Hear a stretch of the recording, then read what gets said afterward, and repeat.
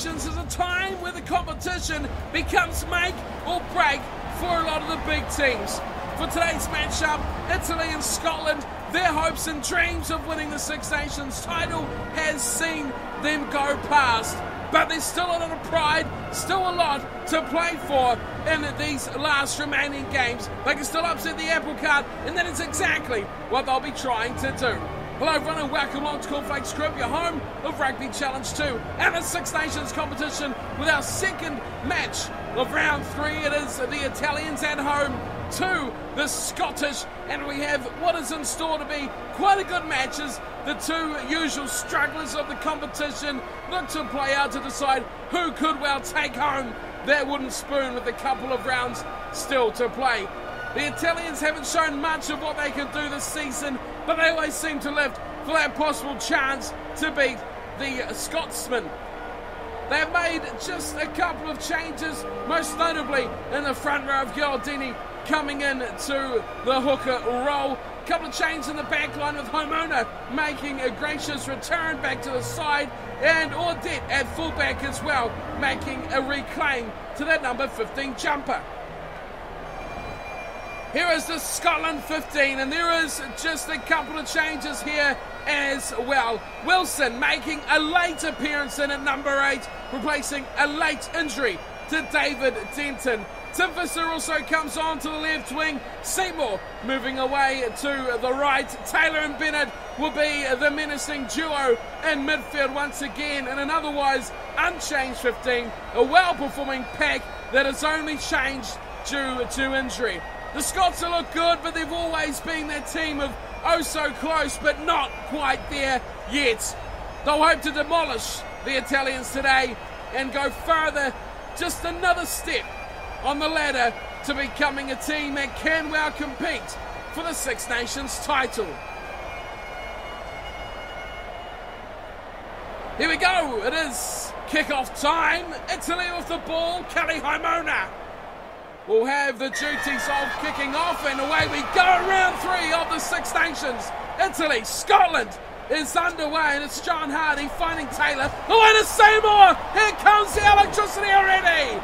Right round from Tommy Seymour, but it's turned over from Zanni. Here come the Italians. Why Cittadini? He's running all over the place. He's not really any clue where he's going. Tipsy turvy left and right. Eventually, a great Please. run from Cittadini there. He didn't make much ground, but he proved very elusive. Wide come the Italians. Good chance. Campagnaro looks outside for Sarto, who's met with the Please. heavy tackle from Tim Visser. Recycle quickly. Away it goes. Oh, Haimona. No way through there at all. Dickinson steals the ball for Scotland and throws it promptly away. Sarto comes up with it. Great ball. Campagnaro. Massive space for him. Gets the off away. Visser in pursuit alongside Finn Russell as well. Good tackle. Puts him down. 10 metres out. Great chance for Italy. Haimona changes directions, looks to the right corner. Cittadini is where again does well. Sarto, Sarto still going. The little grubber, what seemed to be off the knee, didn't quite come off too heavy. And Italy take a breath. What an absolute frantic start from these two sides, especially the Italians. Creating many chances already. Scotland touched the ball once and threw it away instantly. Drop out from Laidlaw, goes deep. Finds Haimona, who quickly goes to the left side, and Bellini was just about in some space. The big clash contact between Bellini and Seymour put the winger into touch just. Seven man line out, call for Scotland here. They go to the front. Gray must sit. Hardie cleans up at the back, as all good flankers know how to do. Scotland competing, but they'll lose this ball. Good work, Italy. Now they swing it wide. Got chance through Cittadini. Finds for Sarto. Back to Campagnaro. Cuts him in half. Surely an intercept. No. Parisse does well to just take that ball away. Still there for Gordy. Back to Haimona. He's kicked on a big angle here. This is a nothing kick at all. Make it something, Haimona. Good piece of play. Kelly Haimona adds a little bit extra back to this Italian backline with a great little dink over the top. Puts pressure on the Scottish line out. which we've seen with the last throw, didn't go too well. Ford this time gives it away. Well taken. Fisher at the front. Pulls it in for the Italians. More ball here for them. Cittadini, Haimona. Big cutout pass. Oh, that is a bread and butter tackle Release. on the left side for Tim Gordy. With a jump goal. It looks on target. It's just short. Hogg. Hogg running it out. Throws out the back door. That's dreadful. Well, that's another chance gone begging for Scotland just to hold the ball. Hogg didn't have to do much there, but look at who was that was chasing up. It was Kelly Haimona. Almost an amazing job goal to break the deadlock. It did go straight, but they've earned themselves a five metre scrum for the lost ball by Hogg. Good scrum too from the Italians. Gordy Looks to go short side on the left. Cuts it back nicely. Zanni did very well. Gordy. Gordy grabbing so chance. He's gone dead and go as well. Well, the Italians persevering with this little grabber close to the line. And Scotland are on the back foot. Still. They have been for nearly all this match. And they stay there as well this time. Deep kick from Laidlaw. Room again out wide. There's a big chance for Bellini. He does it. He beats his man. He beats the fullback Hogg. And Bellini goes to the left hand side. What a try. What a finish by the left winger. Italy lead 5 now. And finally finishes off what he starts. Great play. Great piece of work out to the left side. The dummy, the dummy, the show, the go. He is away and he is an excellent finisher in the corner. Pidixay almost first man there to celebrate with him as well. The captain appreciates that try by his winger. Hogg was left for dust and not even Tommy Seymour could make up the ground. At the left winger, Bellini made up. That was an exceptional try by Italy. And now Haimona with a chance to make it seven. The Italians could have a handy lead here on the half hour mark.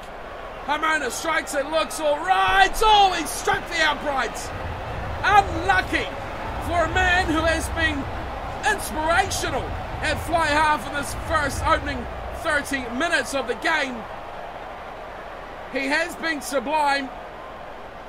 Has Haimona, the drop goal, the control, Everything in his game has directed it well for the Italians. Up goes the kickoff, and oh, great tackle there on Zanni, who did very well to pull that in. Sarto, Sarto, he's still going. That is just disrespectful from Sarto to do that to the Scottish defence. How on earth did he manage to do that? Then Buffa, big hit from right in front of him. Crouch. Picked him up. Drove him into touch. And dare I say it, Scotland have the feed to the scrum. First time we've really seen them with a chance to get possession. If they can keep it, they may be able to work something, not throw the ball away. Now they'll run. It's Wilson. Goes himself, Laidlaw, does well, Hardie. Big pass, Hardie, away to Taylor. Oh, good tackle, Duncan Taylor. He's hard to put away, but a good piece of work there from the Italian defenders. Seymour waits for it. Runs it himself. Hardie. Oh, that's dreadful. Seymour has to come pick up the pieces. Almost in two minds there, John Hardie. Now he's on the ball. Taylor! He's through again! Duncan Taylor! Shimmies! Stamps and trips! Gets up, goes again. Great work! Scotland the back here. They're awake. Could this be their calling? Half time goes. This is an absolute brutal time to score. Wilson, Russell, Dickinson in the back line, he's knocked it on. And it's advantage. Oh, another advantage. So it's on City here at the moment. First knock on going against Scotland. That will be half time. Well, Dickinson, his eyes lit up, didn't they? He saw all that space, he saw numbers out wide, and he coughed it up. Disappointing end. Scotland finally got some ball, and they looked all right too. But look at these stats. This is ridiculous here. 5 0 Italy lead. And there's only one way they're going to keep that lead too, is if they keep all the ball like they did in the first half. 81% of possession, 70% of territory. That is a ridiculous amount to the Italians. Line breaks are low. Three by Italy, one by Scotland, which was right at the end. They can't do much without the ball. Handing so yet to say, is probably the downfall for the Scots, where they are losing the ball the main way as well. But they can pick that up, they can clean it up, and they can get right back into this match with one moment of brilliance. Can they pull it back, or will Italy get what could be quite a big win for their Six Nations season? Well, Laidlaw's one who's normally involved very much with the kicking off the tee and things like that, but he's had nothing to do in this match so far. He kicks off, second half underway, left side again, go the Scots, and up though the Italians. Campagnaro and Sarto are absolutely owning that right hand touchline. Scotland look to commit numbers to the breakdown, but the ball still comes back for Italy it in, he does well. Oh, he's away again. It's Rousseau. He comes up against Hogg at the back. Hogg does well to pull him down. Plenty of blue jumpers there for the Scots. Bennett quickly distributes wide. Here's Tommy Seymour. Oh, big hit there on Seymour. Now, First man to this breakdown. Richie Gray didn't really expect it, but he did well. Bennett to Russell. Russell, Dickinson again. This time he gets it well. And it's Ford who can't get away. Numbers were there for Scotland. Stilvers are waiting on the wings. Now, big ball again, deep line here, and Seymour breaks them in half. Can he break their hearts? He goes to the touchline, looks to step, but Campagnaro does well from behind. Saves the day for Italy, but can he save the match? Taylor, destructive, Visser, Visser trying to barge through. Quickly to the breakdown, are the Scots. Laidlaw to Taylor. Oh, monstrous hit there from Garcia. Wide. Bennett. Bennett sweeping away one and just about goes away again. This is amazing defence and fluid attacking rugby from Scotland. Deep ball to Seymour. He's deep. He's running straight through. He could win this for Scotland, but he's taken down. Another good tackle and a turnover from Gordy. Oh, that is game changing from the Italian scrum half. Hogg running sideways, waiting for a support, finds it in Barclay Ford, to Bennett, numbers out here, Finn Russell leads the charge, he goes away to Fisher, Fisher does well to Gray, Gray fires back in the Ford, Ford to now, not the numbers you want out there, Laidlaw goes back, Russell's in tow, here's Richie Gray again, Wilson, all takes a big hit, and has fallen to Cittadini, and will calm everything down now, oh, it's a big high tackle coming in from Wilson. What an absolute amazing period of rugby. Does Haimona have 55 metres? We're going to find out. I've never seen a Scottish side knock on the door here of the Italians for so long and come away unrewarded. Here's Haimona. Big kick. It's on target but looks well short. Barclay will run it back. Blindside flanker, away to Russell. Russell runs deep. Visser to get on the bounce. Visser does well, goes through one. Intercepted! And away come Italy. Big chance. Inside ball. Parisse. Oh, big tackle on Sergio. And a turnover from Russell as well. Here's Hardie. Out to no one. That's it. No, it's a stolen ball again. Just short. Parisse. Now they go away. Cittadini back inside Haimona. That's a try. Surely, yes. Italy will do upset of the century. Scotland can't believe it. They well should be celebrating down the other end because they were just sublime, but they could not finish it. Their defence was dedicated as ever, but the Italians would not stop offloading. Look at that's ridiculous. Wilson at the end tried to stop the route, but he couldn't do it. Well, this game has gone up another level, folks, in the second half. May not be the high scoring thriller that many people enjoy, but this is rugby at its finest. Italy go over for their second try. Scotland still scoreless. Kelly Haimona missing a penalty goal that could have put them beyond reach. They've done one better and they've scored a try. Conversion attempt from Haimona is good. It's 12 0. How many saw this coming from the Italians? Not many, I'd bet.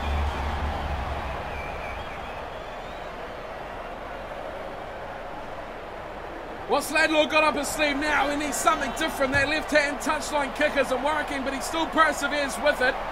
The variation at least says, oh, Campagnaro has been Release. smashed. The Italians try desperately to hold on to the ball, and they do. They go short side. Miracle pass back inside. Hardie makes the tackle. Both teams throwing numbers to the Release. breakdown. It will come back for the Italians. Back to Haimona it goes. There's the knock on. Now it's ball back for Scotland. Can they secure it?